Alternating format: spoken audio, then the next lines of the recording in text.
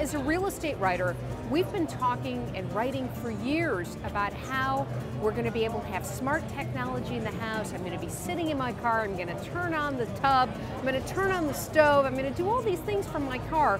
And yet here it is 10, 15 years later, and home control technology really hasn't gone anywhere. I got to say, when you look at innovation and technology, this is not an area that has lived up to the billing. Why is that? I think there's a couple of reasons for that. The technology uh, to do just what you said hasn't really been available. There were some technologies 10, 15 years ago that claimed they could do those things, and they could, but they were not reliable. Um, and it's because technology hadn't advanced far enough. Now today with Z-Wave, um, which is a very, very uh, inexpensive but very high performance, very reliable radio frequency technology, we can now do those things. It's not been too difficult to imagine turning on the hot tub, it's just been difficult to do it inexpensively and reliably.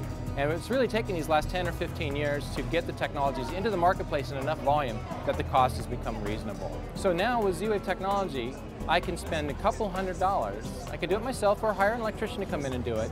And for a very, very affordable amount of money, I can solve this one, one challenge, this one problem, and come up with a solution.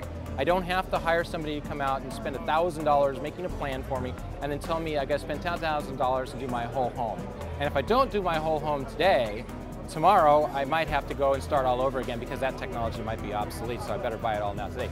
But today with a standard like Z-Wave, supported by 170 different manufacturers, I can put in three devices, solve this problem today, and then wait six months, wait a year, and then realize that, oh, you know, maybe I want to move on and I want to control my thermostat and my window shades to save some energy.